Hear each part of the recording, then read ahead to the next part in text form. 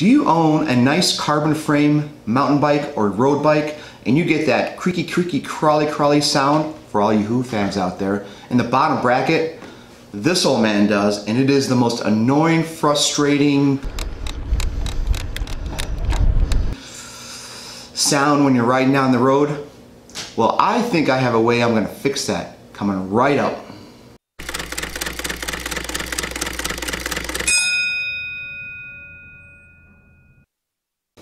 This old man just purchased a new bottom bracket right now.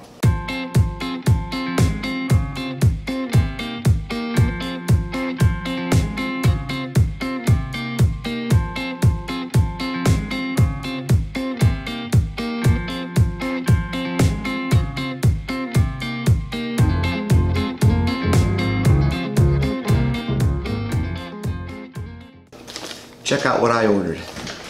This, ladies and gentlemen, BB92 press fit bottom bracket. Guaranteed to stop the creaking in your mountain bike. So they say. Well, we're just gonna test this baby out. So these things are kind of expensive, a little pricey. At the time of this video, $150. What, what, what? $150 for a bottom bracket? Let's go ahead and open this bad boy up. And one more thing. Yep, it's empty. Yum yum.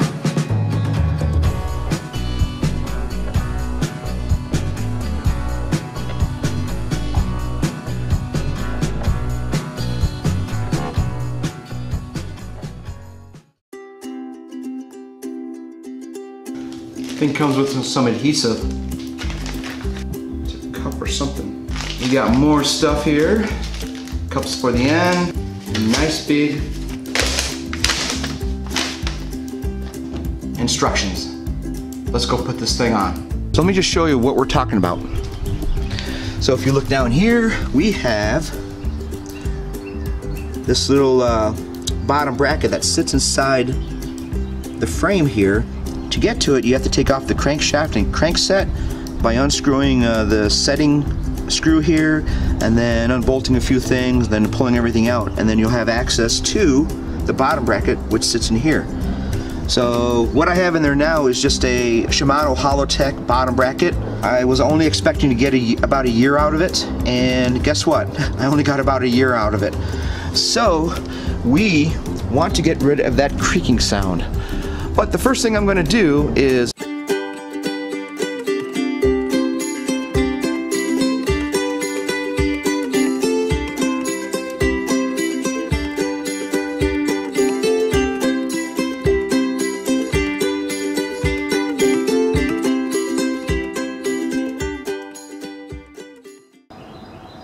Hey, so we got the bike set up on the rack, and I gotta tell you one thing. Disclaimer time. Hey, we've got bar wide open to the fresh air here, even though it's a cloudy day. So you might hear some birds, you may hear a car or two pass by. Do me a favor, tune those out. With that being said, let's get to it. Now, there are a few tools you are going to need to accomplish this mission. Let me go over those. Rubber mallet, torque wrench, T-handle hex key set, bottom bracket compression tool, and finally a Park Tool BBT-10.2 Hollowtech screw set removal tool. That's this thing right here. So the first thing we are going to do is we're going to remove this screw that is sitting here. And there it is. Next, you're going to need a 5 millimeter hex tool. And we're going to unscrew the two hex bolts that are sitting at the top of the crank arm. So let's go ahead and do that. Put the first one in. Ah, there we go. And we will simply take that out. We're going to take the second one out here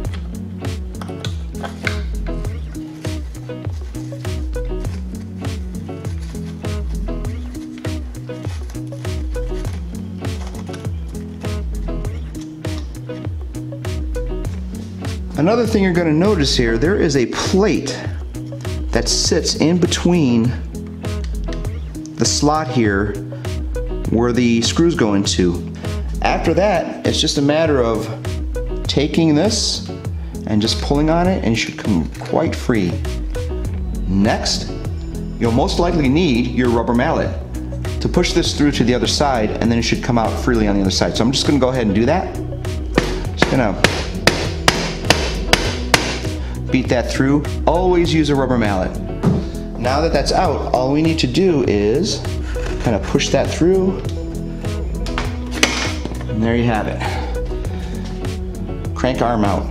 And if you look real closely, we can see a lot of buildup of grease and oil and dirt and you know, we got weeds in here. So this will be cleaned up and we'll get this nice and shiny again before we put it back into the bottom bracket.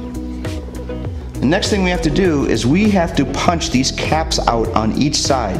One going that way and the other one coming right back at you. And to do that, we need a tool that you can push through and get on the inside of the cap and kind of punch that out. So what I have is a socket extension tool that I found in my toolbox and it has rounded edges on it so it won't damage the inside of the bottom bracket when I try to punch this through. I'm going to try the large end first to see if I can connect to the other side of this and I can feel it on the lip on the inside of the bottom bracket. I'm just going to try to punch this through. This bottom bracket will never be used again. It's okay if I damage it because we're putting a brand new one in. And typically on press fit bottom brackets, you can't really reuse them anyway, so it's okay to just kind of smash this out. So we're gonna continue here. Oh, I was at the end. And here's that uh, end bushing of the bottom bracket we just took out. So I'm gonna reverse this and do it on the other side, and we're just gonna pound on it until we get the other one out. So we're just gonna fast forward ahead and get to that point. And now we can just knock this bushing out of the other side. So I'm gonna pound on this pretty heavily, so watch this.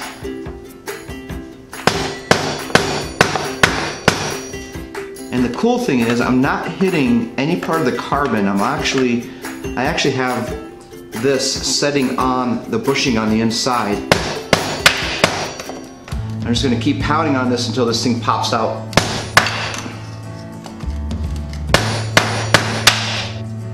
I know it sounds horrible, but trust me, it's okay. And there you have it, ladies and gentlemen. Pretty cool. All right, we've got the bottom bracket out, the old one that is, and I wanna show you how dirty it is inside this bottom bracket and why we got moisture and expansion and why it was creaking so much as you saw in the earlier video. Check this out. If I put my finger right in there, look at all that dirt and grime on my finger you look right through, you can see all the dirt that was accumulating through there. It's grease and dirt, and that all just got in there just from riding and probably because I didn't have a good enough seal on, on this here, on the inside of the bottom bracket. So, what we have to do is put the new bottom bracket on, and then we're gonna put some Loctite to make it stay in place and to prevent any water from getting into the bottom bracket. So let's go ahead and do that right now. We need to make sure that the inside of this bottom bracket is absolutely spotless clean. And the way to do that is rubbing alcohol or some kind of cleaner, a Scotch-Brite or sponge with an abrasive uh, backing on it that you can really get into the nooks and crannies of the carbon and everything. And then just wiping it down and make sure that's clean. So let's go ahead and do that right now. So what I've got here is a washcloth that I've wetted down and I've got some Dawn dish soap on here uh, that will help get all the grease and initial dirt out of here and then we'll continue to clean that as we go along. So it's going to continue to rub the inside of this out. In fact, why don't we just get a closer view of that right now. So I'm just going to clean the inside of this out. As you can see,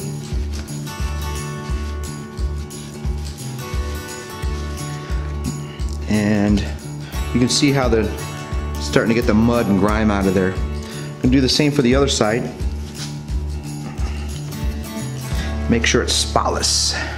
And then what I will also do is I will just go ahead and run this through. Like you take a washcloth to your back. Just make sure everything is clean on here.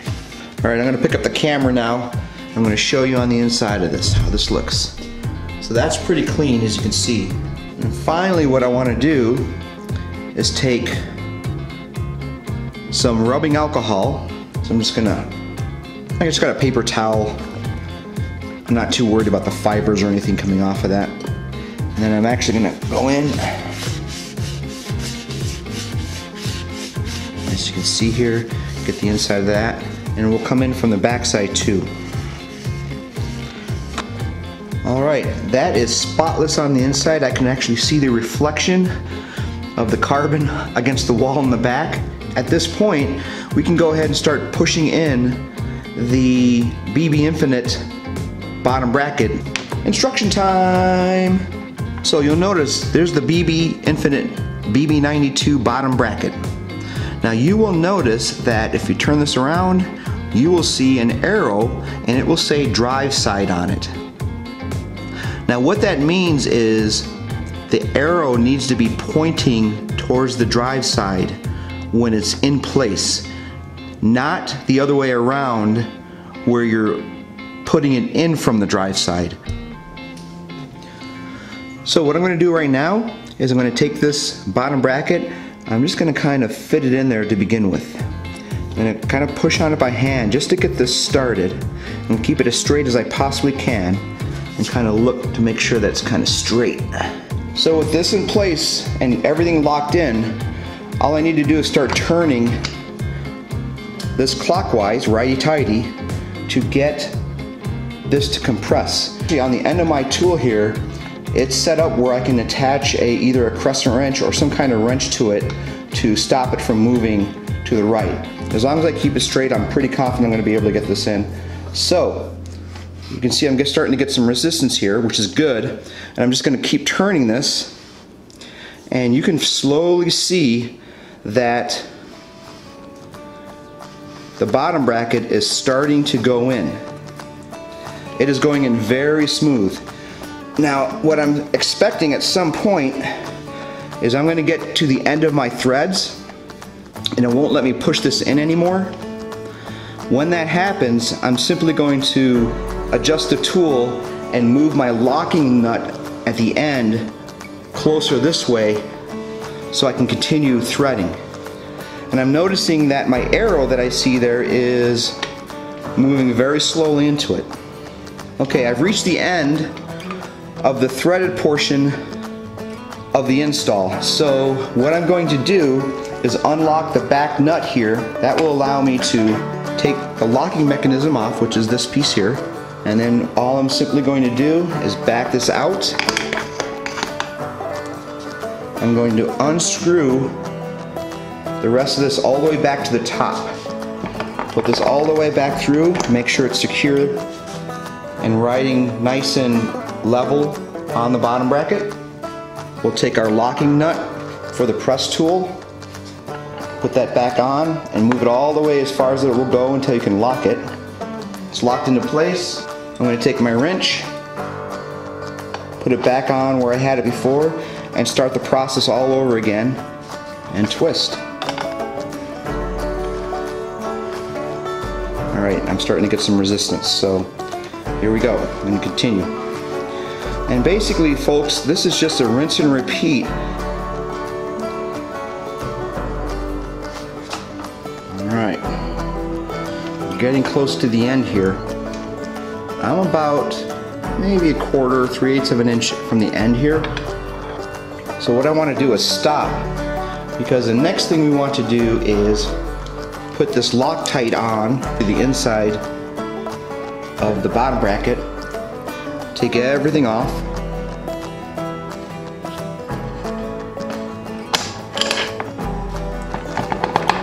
Take that out. And all we're going to do is we are going to put some of this pretty liberally, but enough to fill and get this tight. But it will also prevent water from getting in to the frame. We're gonna rinse and repeat and finish this off. So I'm gonna put this cap back on on the other side that came with the bottom bracket. So I'm gonna put that in, we lock, we lock the other side here. Locked in, grab the back end of this with our wrench, and then we can finish this up.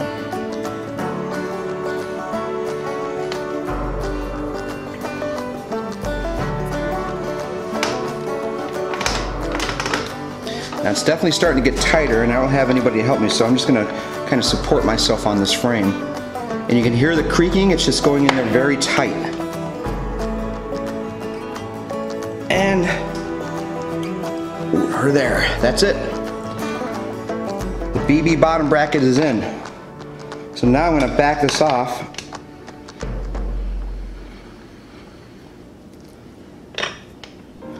I'm also going to have, give me the opportunity to, to take all of this stuff off. It looks good. And the last thing to do, ladies and gentlemen, is get this last piece off that's on the end here. So I'm going to tap, though you can't see it, but I'm to just take my rubber mallet and there it comes off. And that, ladies and gentlemen, is the install of the BB Infinite BB92 press fit bottom bracket. Now if you'll notice, I have gone through and done a preemptive cleaning of my crank arm set. And you can see if you compare this to the one we had before, it is pretty clean. And we're just gonna liberally spread that all around.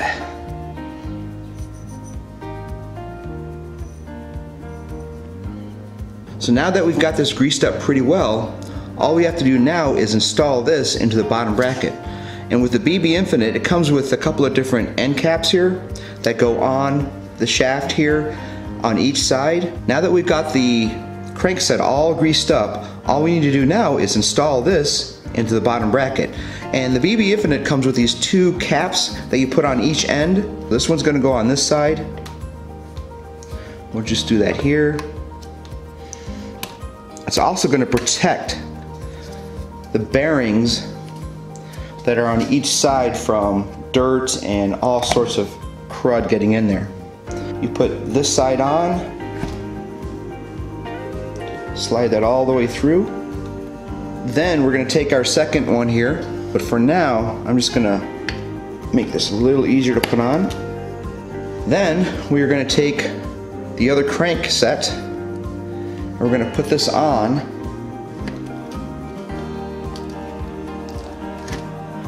perfect. And I've taken out the stop plate for the screws that go in here and we'll just put that back in as we normally would. Finally, we can align our screws back into the crank arm. Finally, we can align our screws back into the crank arm using a 5 millimeter wrench. And all we're going to do now is get this to a point where it's just a little bit loose, actually a lot loose, because we don't want to tighten these all the way in. Because the next step is to put the cap in so it will compress this against the bottom bracket and then you can tighten these two screws. I'm just going to tighten that in like this. Take our BBT 10.2 tool here. There we go.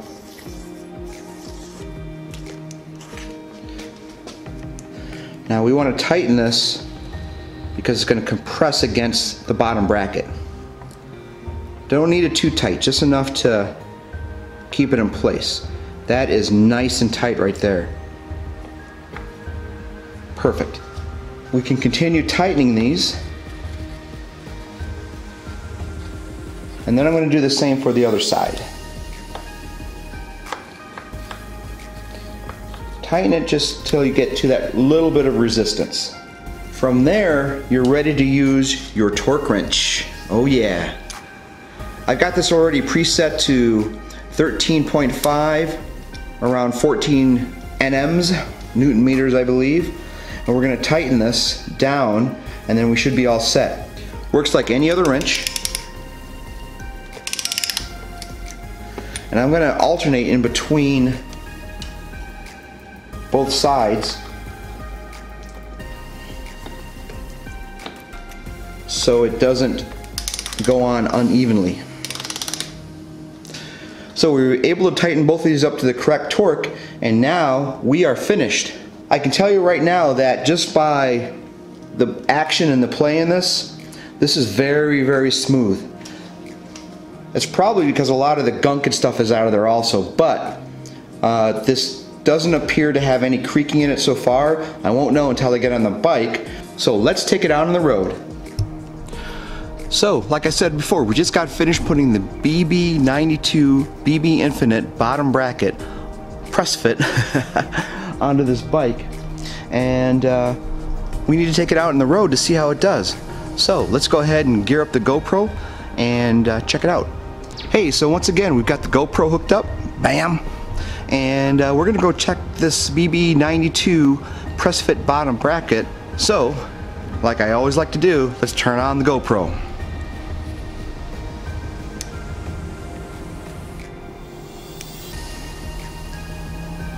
It is just too cool watching that thing self-level. All right, commentary coming up. All right, going into the trusty fridge. Yeah, I know, there's a lot of alcohol in there. I don't drink it all. On average, I maybe drink two beers a month. Okay, maybe four beers a month, but who's counting? Like I said in an earlier video, I'm just not that big of a alcohol drinker.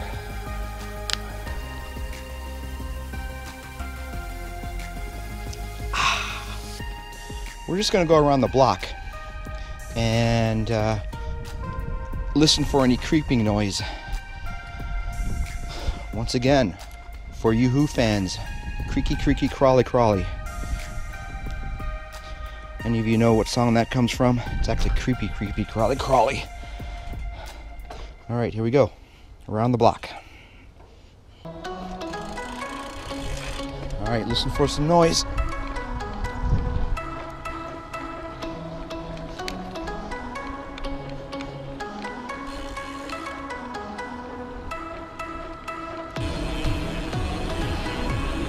I don't hear anything, do you?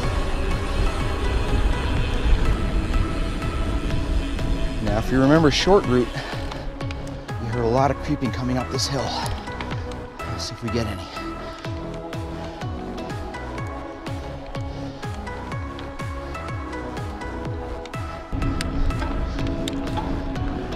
One thing I am noticing also is that the pedal stroke on my crankset is very smooth and very fluid. So I'm thinking I can pick up a lot of speed on some of these road routes that I like to do.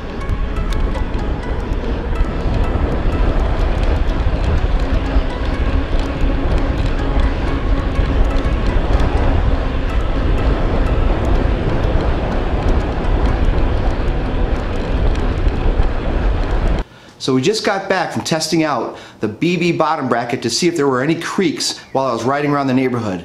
And lo and behold, no creaks. So what we're gonna do is we're gonna test this out for a couple of months and see where we stand. And maybe we'll do a review at the end of those couple of months and I'll give you my final verdict. But so far, looking A-okay.